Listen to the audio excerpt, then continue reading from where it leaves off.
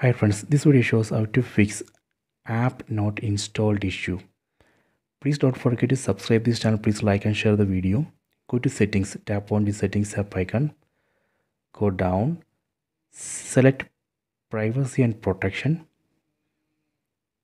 Select special permissions.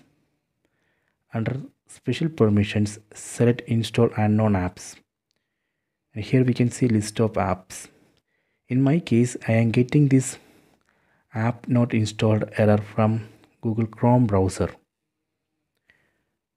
Tap on Chrome browser. Then we need to enable this.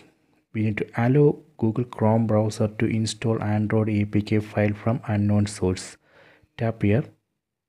Then tap on this checkbox.